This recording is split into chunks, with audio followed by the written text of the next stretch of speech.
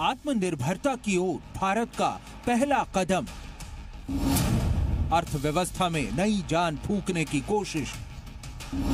देश को संकट से निकालने वाले बड़े फैसले। प्रधानमंत्री ने भारत को आने वाले दिनों में ग्लोबल लेवल पर बड़ी आर्थिक ताकत बनाने का रोड मैप भी दिया है। भारत के पास दुनिया की बेहतरीन प्रतिभा है और इसके इस्तेमाल से हम आने वाले दिनों में सबसे बेहतर उत्पाद बनाएँगे। और उसकी गुणवत्ता में सुधार करते हुए सप्लाई चेन को भी हाईटेक बनाना होगा। आत्मनिर्भर भारत के संकल्प को सिद्ध करने के लिए पैकेज में ज़मीन, श्रमिकों लिक्विडिटी और ज़रूरी कानूनों में बदलाव की भी व्यवस्था की जाएगी। 20 लाख करोड़ के जिस पैकेज की बात पीएम ने कही, अब उसका ब्यौरा सामने आने लगा है। वित्त मंत्री निर्मला सीतारमण ने इस पैकेज के तहत बड़े ऐलान किए हैं। सरकार ने एमएसएमई को तीन लाख करोड़ रुपए के क्रेडिट फ्री लोन देने का ऐलान किया है एमएसएमई को एक साल तक लोन की ईएमआई भी नहीं चुकानी होगी 100 करोड़ टर्नओवर वाली कंपनियाँ 25 करोड़ तक का लोन ले सकेंगी, जिसे चार साल में चुकाना होगा There is a collateral free automatic loan for MSMEs which is being provided. This will give facility up to 3 lakh crores. 25 crore outstanding for those MSME units for whom 25 crore is the outstanding loan or 100 crores whose turnover is will benefit from this.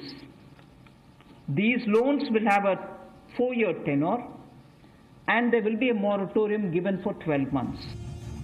सरकार ने बाजार में नकदी का flow बढ़ाने के लिए EPF को मौजूदा 24 फीसदी से घटाकर 20 फीसदी कर दिया है मतलब ये कि टेक होम सैलरी अब ज़्यादा होगी। आम आदमी की जेब में ज़्यादा पैसा आएगा, जिससे परचेजिंग पावर बढ़ेगी।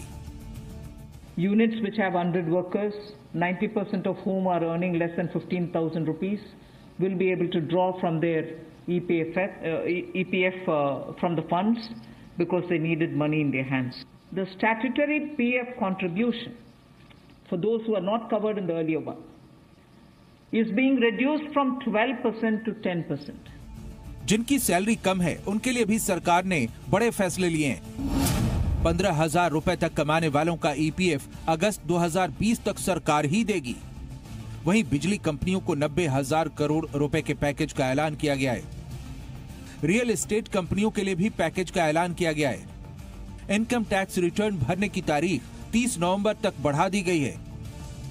मार्च 2021 तक टीडीएस 25 फ़ीसदी कम काटा जाएगा।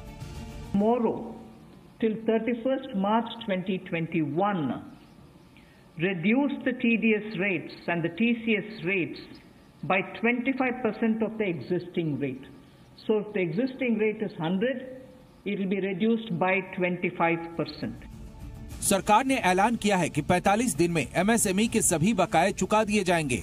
रेरा रजिस्टर्ड बिल्डर्स को प्रोजेक्ट पूरा करने के लिए छह महीने का समय ज़्यादा दिया जाएगा। हालाँकि ईपीएफ कम होगा तो टैक्स ज़्यादा भरना होगा। टीडीएस कम कटेगा तो फाइनल टैक्स ज़्यादा पे करना होगा। लेकिन ये तो बाद की बात है। फ़िलहाल तो ये घोषणाएँ, राहत देने वाली घोषणाएँ कही जा सकती हैं। Bureau report, Zee media. Digital world में नई क्रांति।